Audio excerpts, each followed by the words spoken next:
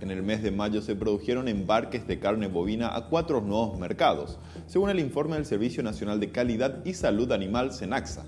En el quinto mes del año se cerraron los primeros negocios con Egipto, Portugal, República Democrática del Congo y Bielorrusia. De acuerdo al reporte del Servicio Veterinario Oficial, en los primeros cinco meses del año la carne bovina paraguaya ingresó a 48 diferentes mercados. Marcos Medina, viceministro de Ganadería, manifestó que la estrategia apunta a diversificar cada vez más los mercados en la carne para tratar de evitar concentración de envíos a unos pocos mercados. Esto fue un minuto de información con La Nación TV. Soy Santiago Sabatiero y siga informado por www.lanacion.com.py.